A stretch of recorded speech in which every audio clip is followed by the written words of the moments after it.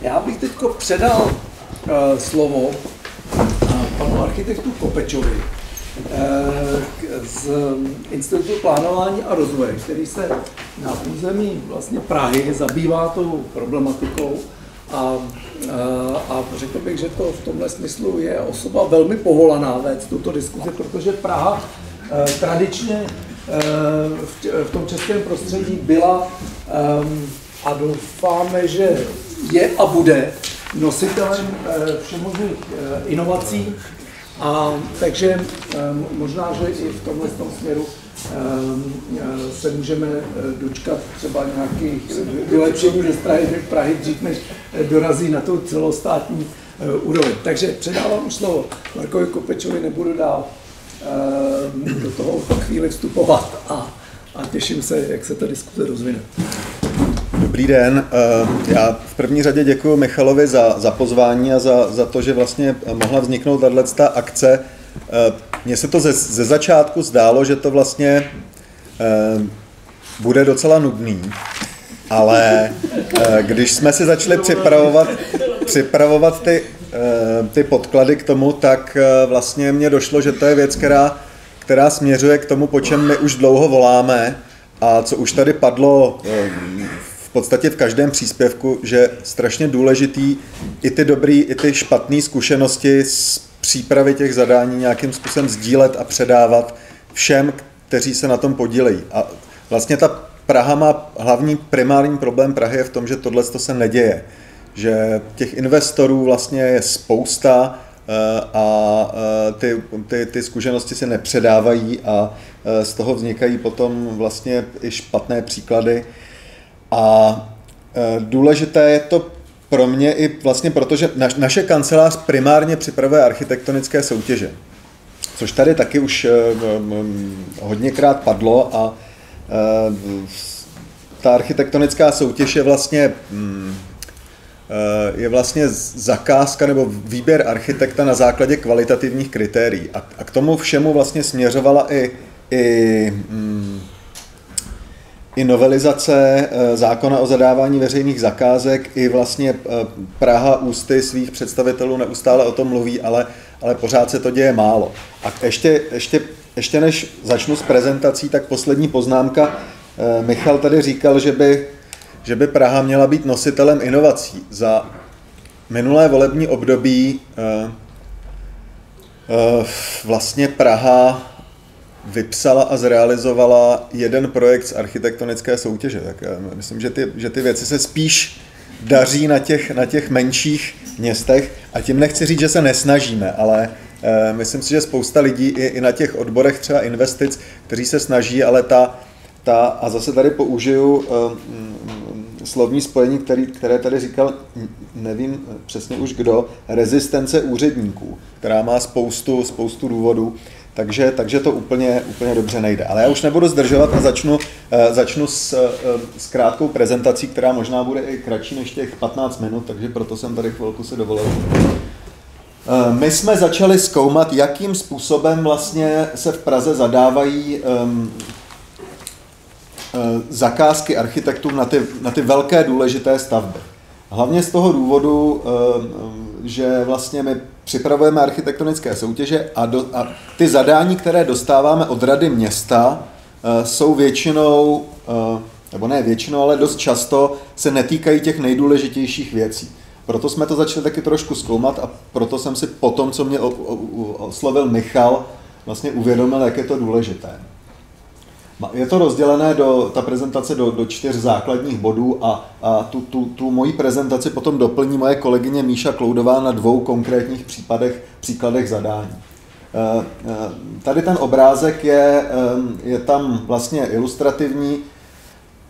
Objevili jsme ho při přípravě zadání jedné důležité stavby, která doufejme v Praze někdy vznikne, a to je koncertní sál. Je to z projektu územní studie nebo urbanistické studie na řešení, řešení bubnů eh, z roku 1987 eh, autory architekt Gregorčík. Zrovna, zhruba v tomto místě by měl stát eh, koncertní sál pro, pro Prahu, pokud k tomu dojde a představujeme si, že zhruba takový bez něj mohl být výhled. Takže co? Co je nezbytné pro získání kvalitního projektu? Je to, je to věc vlastně, která se tady, možná je to napsané příliš jednoduše, ale já si myslím, že to jsou věci, které se musí um, hodně často opakovat a um, je to um, proto, aby se, aby se vlastně staly automatickými. Je samozřejmé, že vlastně musí být aspoň trošku osvícený investor, zadavatel, anebo aspoň musí skutečně to zadání chtít zrealizovat. My se velmi často potýkáme s tím, že eh, město, aspoň tak to bylo mm, v minulém volebním období, chtělo um, vypsat soutěž na něco, o čem my jsme věděli, že, že v podstatě nechce zrealizovat.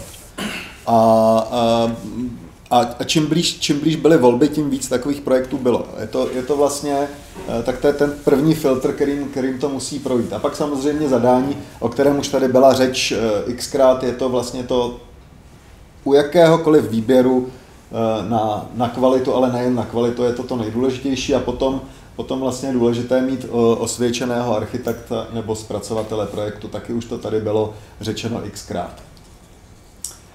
Eh, a tady už začíná vlastně ten, to naše pátrání, kdy jsme, kdy jsme oslovili odbor strategických investic.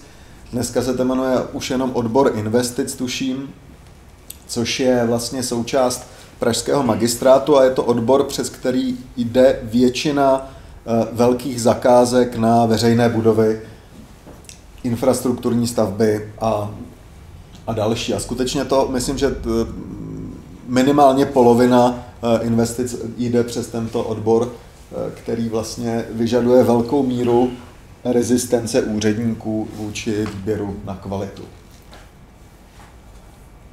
Jak to, jak to vlastně kdo, kdo v Praze zadává, eh, kdo v Praze zadává, eh, je tady, je tady vlastně napsáno, kdo, kdo jiný v Praze zadává, je napsáno tady v, tom, eh, v tomhle tom grafu. Vlastně jsou to odbory magistrátu, což je hlavně zejména teda ten odbor investiční, o kterém, o kterém jsem mluvil.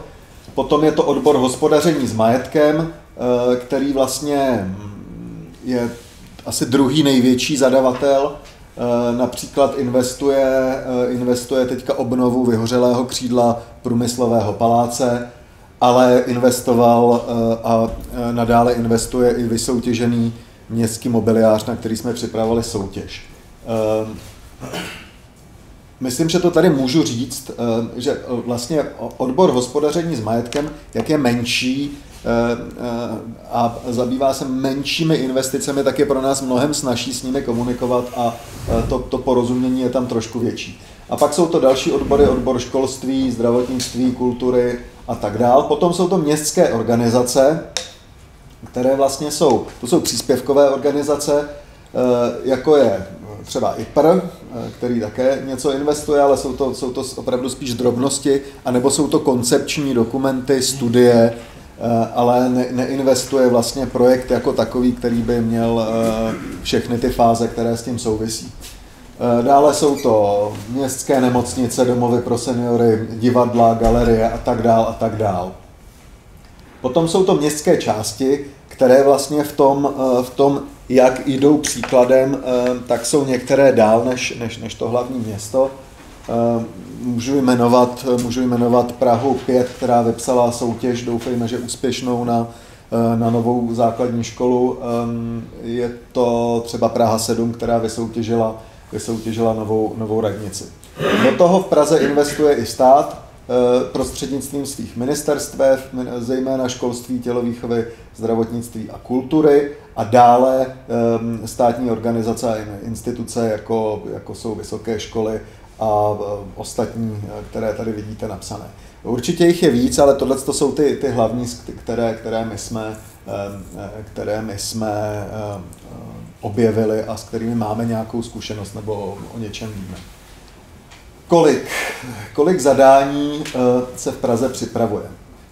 Za minulé volební období, když počítáme ty velké stavby z, z veřejných budov, nad 10 milionů korun investice, tak eh, to bylo 55. Eh, pokud by byly všechny realizovány, tak by celková investice byla přes 11 miliard korun a na jeden z těchto projektů proběhla architektonická soutěž, což, byl, což byly vstupní brány do uh, areálu výstaviště, která nedopadla úplně podle našeho očekávání, i když jsme ji organizovali a byl tam samozřejmě problém nechci říct, že my jsme udělali všechno úplně bezchybně, ale, ale zadavatel vlastně byl zastoupen, uh, zastoupen lidmi, kteří se tam neustále měnili. Takže, takže ta kontinuita, o které už se tady několikrát mluvilo, je vlastně naprosto zásadní pro to, aby něco mohlo vzniknout. Protože to jedno volební období prostě je neúprosné a budu o tom ještě mluvit za chvilku a, a vlastně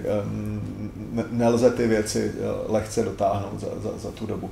A je připravována jedna soutěž eh, na základní uměleckou školu na Zličině. Eh, ta už je připravována dva a půl roku. Eh, připravují odbor strategických investic a je to v podstatě, to zadání je, de facto existuje zadání kapacitní, ale um, byl proto vybrán pozemek, který je v podstatě na uh, vedle křižovatky dvou dálnic uh, na úplně na okraji Prahy, uh, kam nejezdí ani autobus. Takže my jsme byli osloveni odborem strategických investic o nějakou spolupráci a vlastně um, zpětná vazba, kterou jim dáváme, je uh, navrhněte proto jiné místo, uh, které proto bude mnohem hodnější, protože není možné, aby uh, vlastně škola, která má mít ehm, celoměstský význam, umělecká škola, eh, eh, byla na takovém tom místě. Tady jsou, tady jsou vypsané, vypsané ty jednotlivé stavby a eh, výše, výše investice do, do, do těch staveb, které vlastně ehm, byly v rozpočtu hlavního města během minulého volebního období.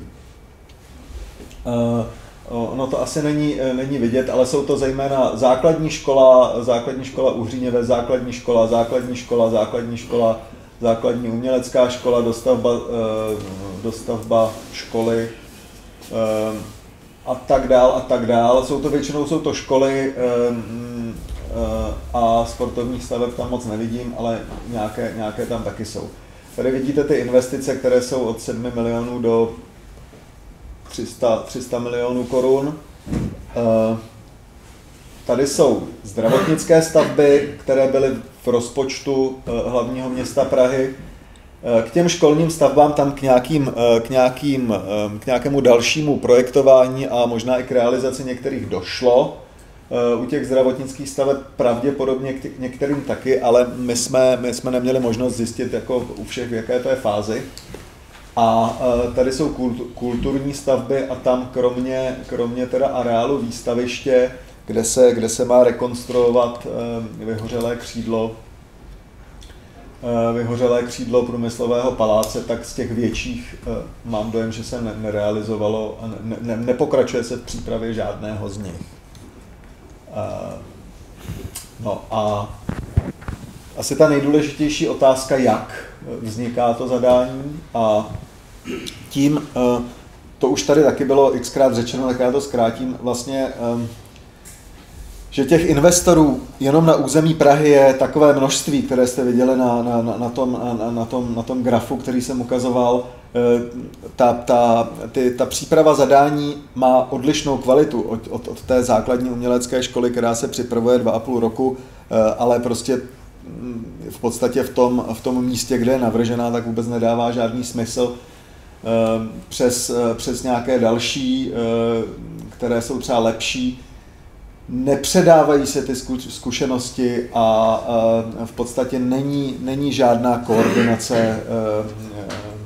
Předprojektová příprava je podceňovaná. Samozřejmě chápu, chápu třeba, že když se připravuje soutěž nebo zadání pro městskou část, která má omezený rozpočet, že je pro ní složité Ehm, dá dohromady 2 miliony na architektonickou soutěž, ale eh, přece jenom je to, je to ověřený a vlastně jediný správný ehm, způsob výběru eh, u těch nejdůležitějších staveb eh, výběru architekta. Je potřeba nějakým způsobem jim v tom, jim v tom pomoci, nebo aspoň my se snažíme město, město ehm, připravit na to, že, že tyhle ty věci nebo takováto zadání je potřeba nějakým způsobem podpořit. Nebývají, například nebývají zapojeny všechny potřebné obory. Ta, ta diskuze vlastně nad tím zadáním, teďka to vztáhnu, teďka to vztáhnu ke konkrétnímu případu, což sice není, není nic, co by um, zapadalo do toho, do, toho, do té struktury dnešního dne, kdy se bavíme o vyloženě o typologii nějakých konkrétních staveb, ale, ale na přípravě soutěže na vítězné náměstí se scházela pracovní skupina, která měla 20 členů, nebo zhruba 20 členů plus minus. A byli tam zástupci od vysokých škol přes eh, Prahu 6, místních iniciativ, magistrátu a, a skutečně se diskutovalo nad nějakým draftem zadání, tak dlouho, dokud všichni nebyli ochotni to podepsat. Trvalo to víc než rok a e, troufám si říct, že ta soutěž dopadla dobře a doufám, že, že, že bude dál, e, dál pokračovat.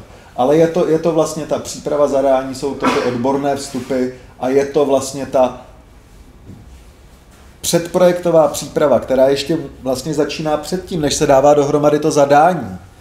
Ehm, ehm, tady, tady, padlo, tady padla, ehm, padla taková informace nebo taková zpráva o tom, že vlastně, myslím, že to, byl, eh, že to, byl, že to bylo v souvislosti s tou starou Boleslaví, že vlastně, když se vypíše nějaký grant, eh, že potom není možné stihnout eh, připravit kvalitní projekt. No samozřejmě, že není protože město by mělo mít, každé město by mělo mít strategický plán, v kterém má určené své priority a mělo by si dělat de facto projekty nebo předprojektovou přípravu eh, důležitých záměrů dopředu.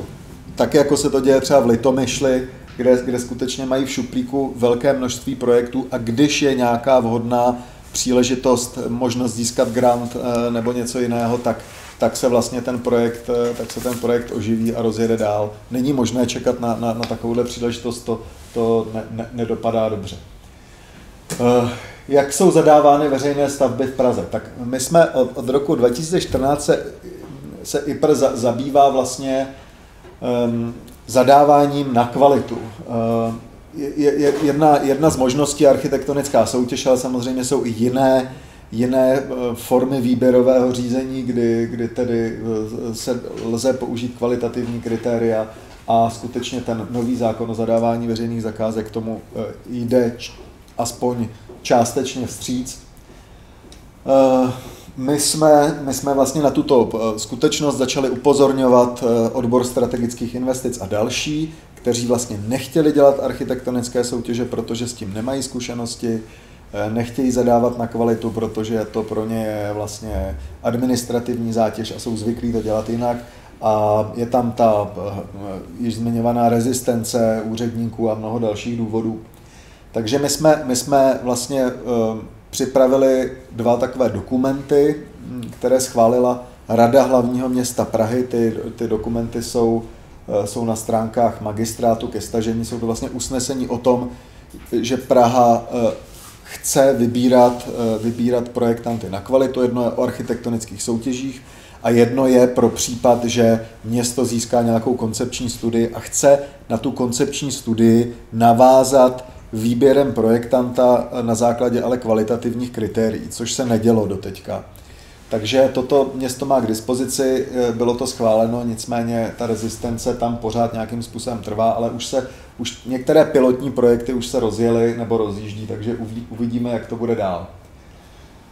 Eh, samozřejmostí je spolupráce, konzultace zadání, eh, které děláme pro městské části, státní instituce, ale i pro i pro některé větší soukromé nebo i menší soukromé instituce nebo, nebo firmy, které potřebují s něčím takovým poradit. Eh, samozřejmě, že když přijde developer a chce, aby institut vypsal architektonickou soutěž, tak to uděláme, ale eh, je to, eh, ne, neuděláme to zadarmo. Musí za to zaplatit, jako, jako kdyby se najal Igora Kovačeviče. A potom vlastně připravujeme brožuru architektonických soutěží, což je věc, kterou já osobně vnímám, že tady velmi dlouho chyběla. Eh, samozřejmě hlavním kritériem při přípravě této brožury pro nás byla kvalita, proto to tak dlouho trvá, ale už je, už je vlastně, už je téměř hotová. Máme to v nějakém posledním kolečku u našich právníků, kde se snažíme vychytat nějaké, nějaké drobné nepřesnosti. A tato brožura by měla právě takovým zjednodušeným, ale správným způsobem i pomocí ilustrací, tak aby to opravdu pochopil každý, ehm, eh, popsat vlastně, v čem jsou výhody, v čem jsou nevýhody, jaké jsou formy, jaké jsou možnosti eh, a tak dál eh, architektonických soutěží. Doufám, že do léta, do léta bude tato brožura vydaná. A dále, dále vlastně pracujeme na databázi příkladu dobré praxe, a to, je, to, to už tady taky bylo zmíněno několikrát dneska, Vlastně je to, je, to, je to taková webová aplikace, kde jsou vlastně nahrané projekty, které jsou, jsou seřazené na základě nějakých porovnatelných, porovnatelných výstupů, to znamená, že jsou tam fotky, jsou tam, jsou tam půdorysy, řezy, jsou tam v tom nějaké základní údaje a vlastně dost často se nám stává, že třeba starosta nějaký měst nebo starostka nějaké menší městské části po nás chce pomoct při výběru eh, architekta nebo projektanta. Tohle je právě to, co by mělo, to, co by mělo nějakým způsobem jim pomoci, pokud nemají sami, sami někoho osvědčeného nebo někoho, koho by chtěli oslovit, pokud nechtějí dělat architektonickou soutěž a pokud chtějí udělat třeba vyzvanou soutěž, tak také. Takže, takže vzniká tato, eh, tato databáze, kde vlastně Eh, jsou rozdělené, rozdělené projekty do tří kategorií, veřejný prostor, architektura, urbanismus a mělo by to také, už to, už to probíhá nějakou testovací fází, takže také by to mělo být k dispozici. A je to tedy, spíše bych řekl, že je to určeno pro, uh, pro zastupitele, um, pro pro nějaké, nebo pro instituce, které nemají zkušenost s, s prací a s výběrem architekta. A ještě teda, pardon, to, to se nějak zkrátilo, ale ještě jsem chtěl, ještě jsem chtěl upozornit na eh, jednu důležitou věc a to je, eh, to je určitá relativita času, která se vztahuje k volebnímu období. To volební období má čtyři roky. A jak už jsem říkal a jak už tady bylo řečeno, ta kontinuita je strašně důležitá. Když se podíváte na ty nejúspěšnější města, jako je třeba Litomyšl, tam se sice starosta vyměnil, ale pořád je to jedna, jedna vlastně skupina lidí, tak tam je ta kontinuita 25, možná ještě více let.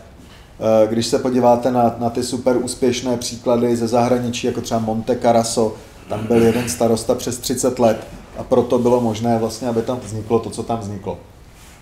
Ještě jsem tady měl několik, několik poznámek, ale já si asi nechám do té diskuze a, a předám, eh, předám, eh, předám slovo dál a děkuji za pozornost.